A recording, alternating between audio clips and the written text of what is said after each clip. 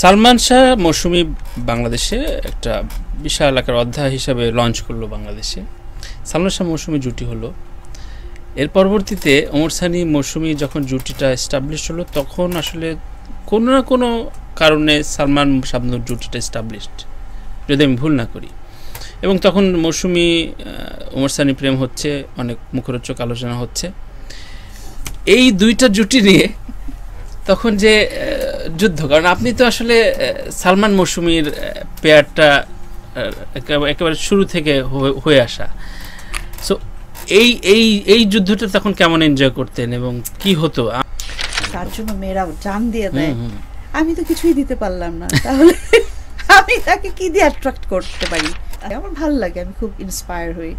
আমি খুবই পছন্দ করি আমি খুব দেখি কিন্তু হ্যাঁ। আচ্ছা। কিন্তু আসলে যেটা সত্যি সেটাই কিন্তু বের হয়ে যায়।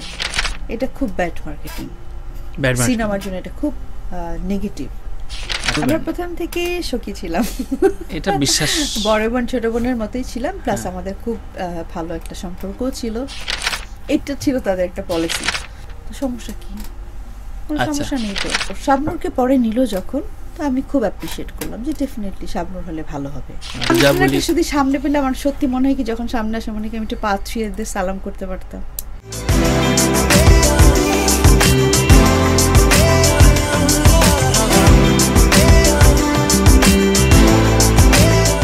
চ্যানেলের এই ভিডিওটি আমাদের নিজস্ব নির্মাণ মৌলিকভাবে প্রকৃত তথ্য বিপরীত আমাদের নিজের অবস্থান বানানটি তিন খবর দিয়ে বিভ্রান্ত করা আমাদের উদ্দেশ্য নয়। এ কারণে সরাসরি বাংলা উপস্থাপনা তাই এই মূল ভিডিওটি কোনো কিছু কপি বা অন্য পোস্ট করলে যথাযথ ব্যবস্থা নিতে আমরা বাধ্য থাকব। আমাদের একটা গ্রুপ ছিল। হুম, হুম, মানে যারা কিনা এখন অনেকেই নেই। শুধু চাওলাদ ভাই চলে গেছেন জুটন ভাই চলে গেছেন। হ্যাঁ চলে গেছে। তারপরে আসছে আহ, নবীন হুম, সৈকত। ছিল বাবু ছিল আর সিনিয়রদের মধ্যে আজাচল। থেকে শুরু করে ওনার যারা ছিলেন মানে প্রত্যেকেই আমার সাথে খুব হৃদ্যতা ছিল আমার সাথে।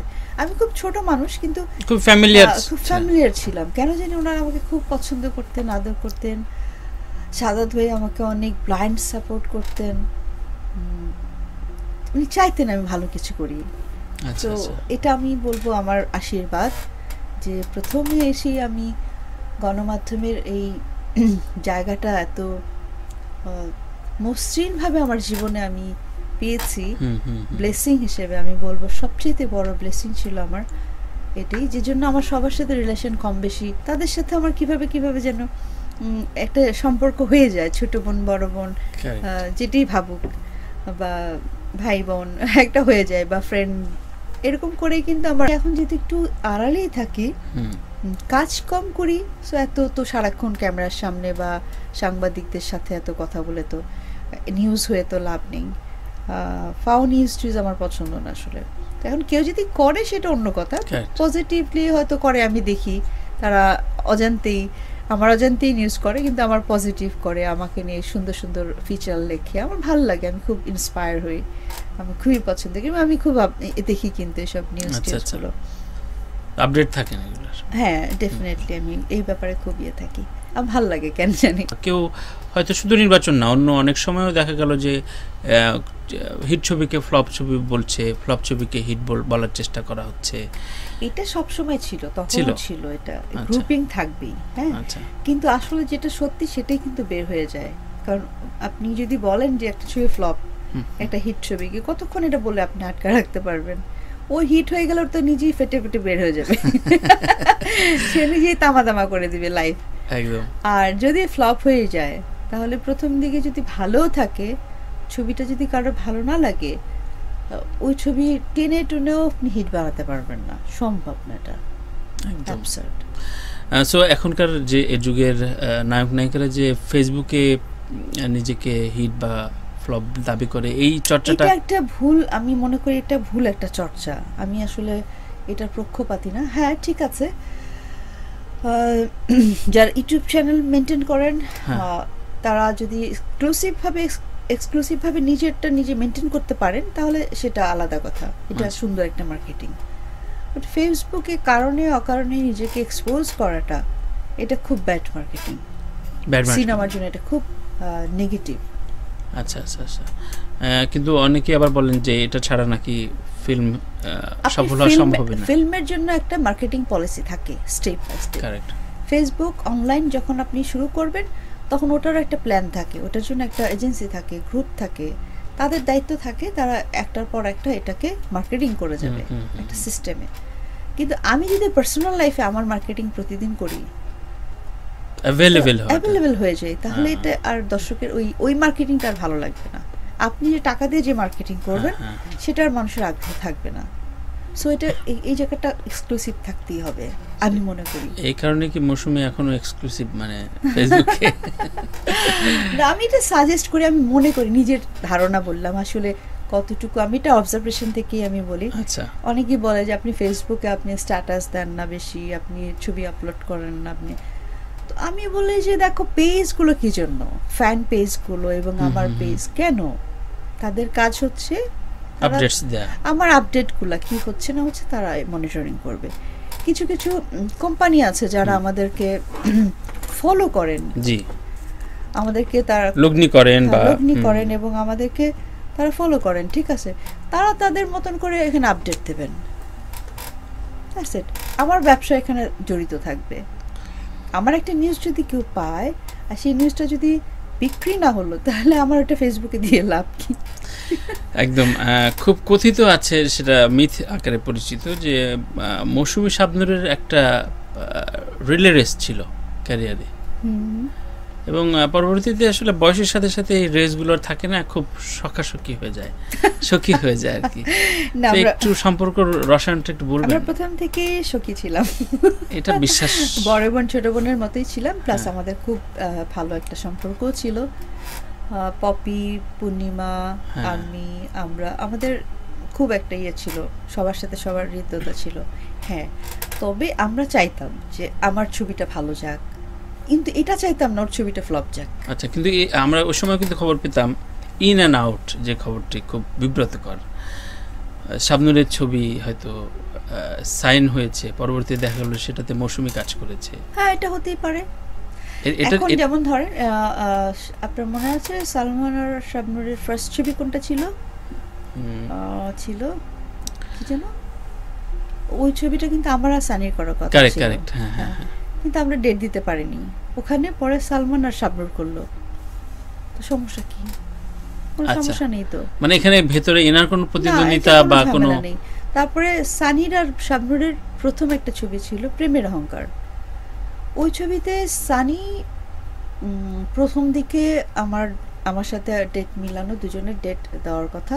তো আমার ডেট কোনোভাবে মিলছিল না। সানি বারবার চাচ্ছিল ওই ছবিতে আমি কাজ করি এবং আচ্ছা। আমি ডেট দিতে পারছিলাম না দেখো কিন্তু আমার উপর অভিমানও করল। তখন তো অভিমানের সময় এত- চলছে হ্যাঁ, এত সুন্দর একটা ছবি তুমি এরকম করছ। আচ্ছা। আসলে বিষয়টা তা ছিল না। পরে দেখা গেল যে আসলে আমার ডেটটা ছিল না। কারণ ওই সময় আমার ডেটটা ছিল সম্ভবত কাঞ্চন ভাইকে দেওয়া ছিল। আচ্ছা। ভাইয়ের সাথে মেলানো কোনো একটা ডেট একটা সিনিয়র শিল্পীর ডেট তো আমি নষ্ট করতে পারি না। মানে এই ধরনের কমিটমেন্টের জায়গা থেকে হ্যাঁ হ্যাঁ হ্যাঁ। হয়েছে। তখন আমার সাথে একটু রাগারাগি করলেও তো শাবনুরকে পরে নিল যখন তো আমি খুব অ্যাপ্রিসিয়েট করলাম যে ডেফিনেটলি শাবনুর হলে ভালো হবে।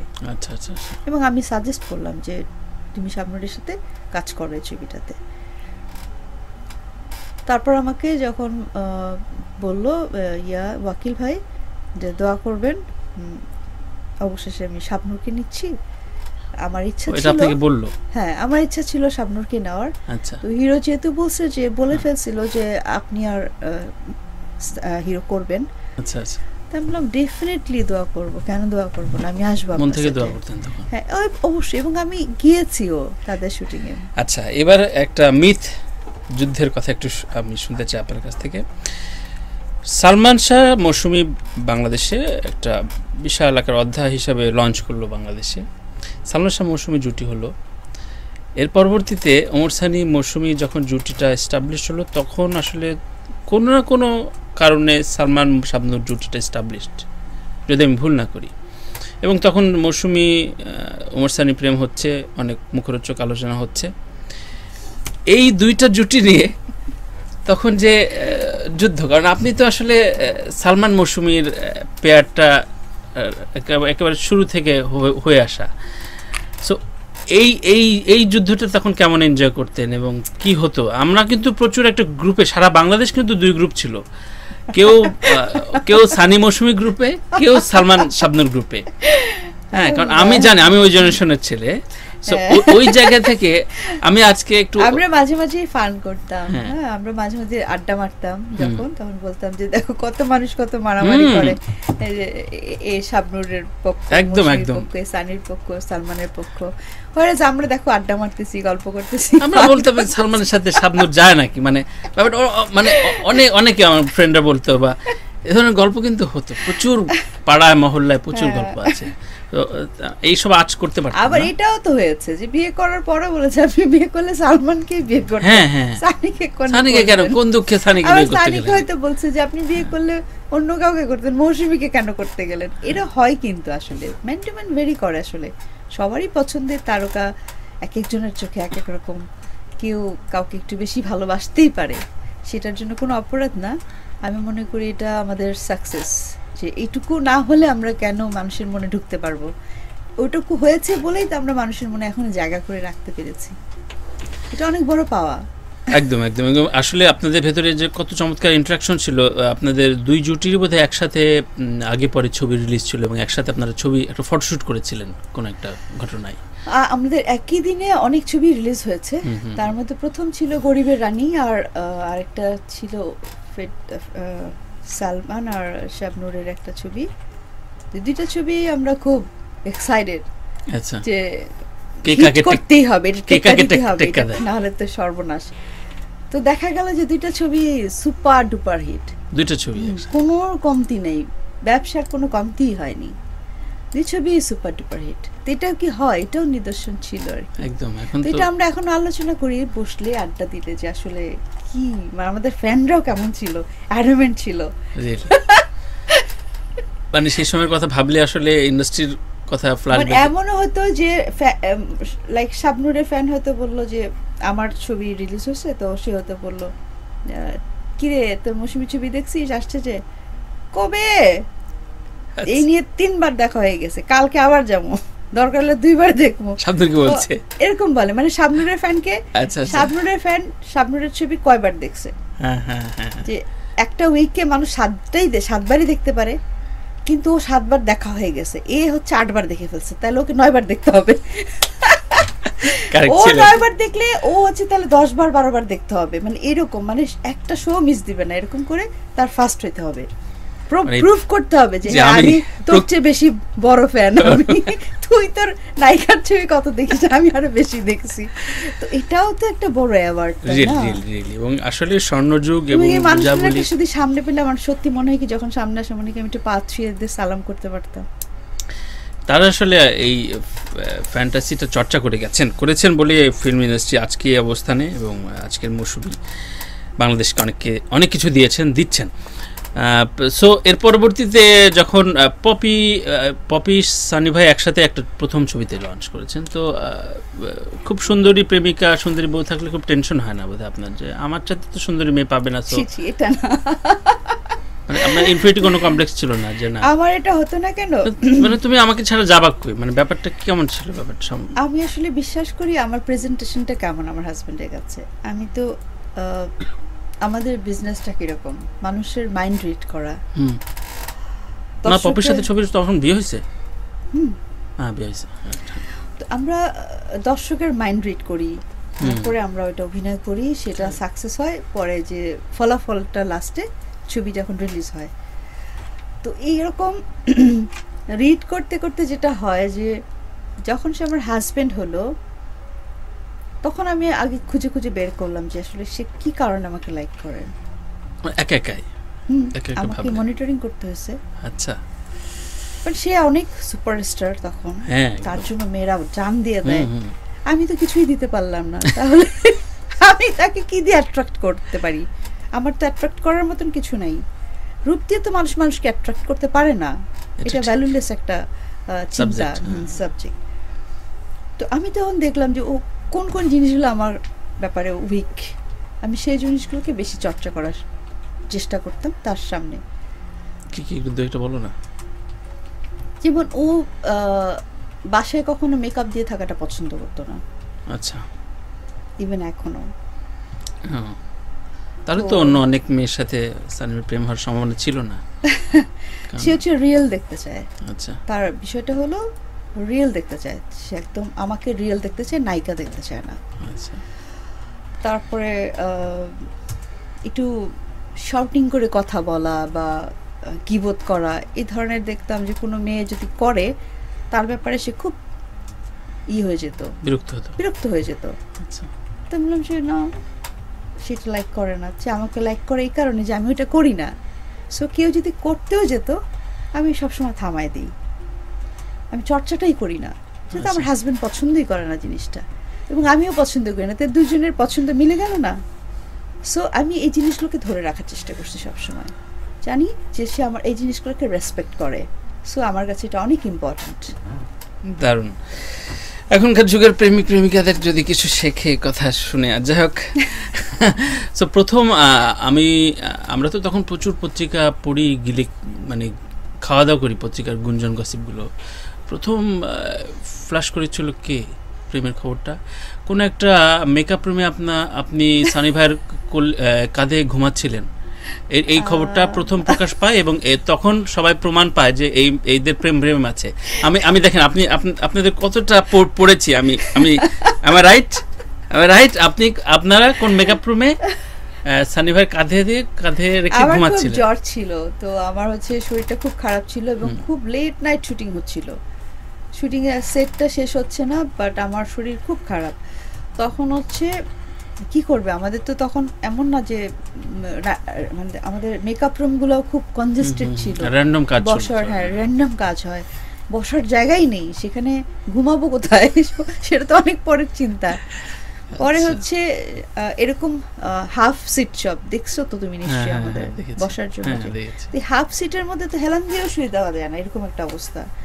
তখন ও পাশে এসে ওই গ্যাপে গ্যাপে আমার পাশে এসে কি দারুণ এক আশ্রয় হ্যাঁ? হ্যাঁ সে আমাকে এখানে মাথায় রাখতো রেখে বলতো যে এখানে শো আমি আসি। তুমি নিশ্চিন্তে শো তারপরে ওই একটু পরে পরে একটু ভিজা একটা কাপড় ছিল ওটা দিয়ে একটু মুছে টুছে দেওয়া এইসব আর কি। এই কিন্তু- টেকগুলো করতে এটা চমৎকার স্টোরি লিখেছেন। মেবি পূর্ণিমা অথবা আনন্দ বিচিত্র আমি জানি না। সেটা পড়েছিলেন? সে ধরনের খবর বা এ ধরনের অনেক খবরই তো আপনার হ্যাঁ কোন পত্রিকায় যেন আসছিল। খুব গল্প করে লিখেছিল হ্যাঁ তো এই রাতে মনে হয় গিয়েছিল তখন তো আড্ডা হতো এফডিসিতে এফডিসি থেকে আর কি। শুটিং থাকতো সব সাংবাদিকরা রাতে কাজ শেষ করে হ্যাঁ, হ্যাঁ, হ্যাঁ। ওটাই ছিল আমাদের আড্ডার জায়গা। সব এফডিসি ওখান থেকে সব তৈরি হয়ে যেত। ওখান থেকে গসিপ হতো ওখান থেকে রিয়েল হতো ডিসিশন হয়ে যেত যে কালকে কাকে কি দেওয়া হবে। ইভেন ছবি রিলিজ থাকলে ওটা একটা গসিপ তৈরি হতো আবার আমাদেরকে বলে দিত কালকে এই নিউজ কিন্তু যাবে। এটা ছবির জন্য এই প্ল্যান করা হয়েছে। তো এরকম অনেক নিউজ তৈরি হতো যেটা ছবির হিট করার জন্য অনেক সময় একটা নিউজ তৈরি করে ওরা ছেড়ে দিত। হিরো হিরোইনের প্রেম বানাই দিত।